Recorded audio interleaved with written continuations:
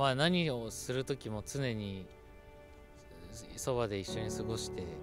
きて、まあ、まあ自分がいろんなこう天気を共に、まあ、コロナ禍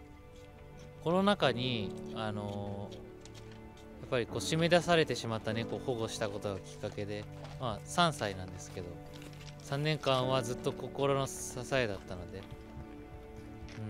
なんとかして見つけ出したいなと無事を祈っています。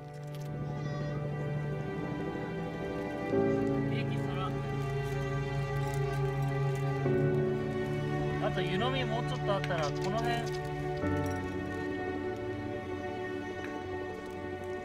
グラまあうちの猫だけじゃなくてこの本町一丁目にはもう何十匹という飼い猫も地域猫もまあそのみんなで飼ってる猫もいっぱいいるんで、まあ、その猫たちのために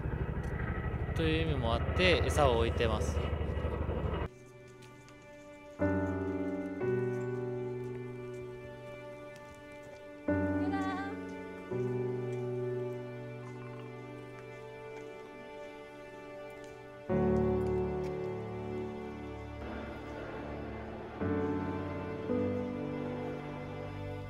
まあ道具や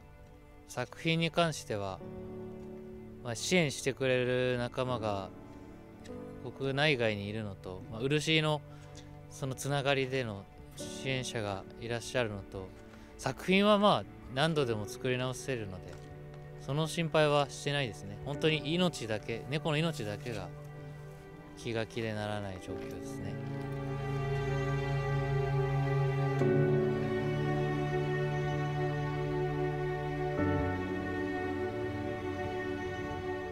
まあ僕がすごく幸せな気持ちに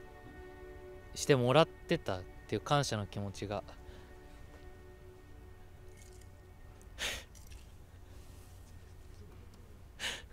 感謝してるんで。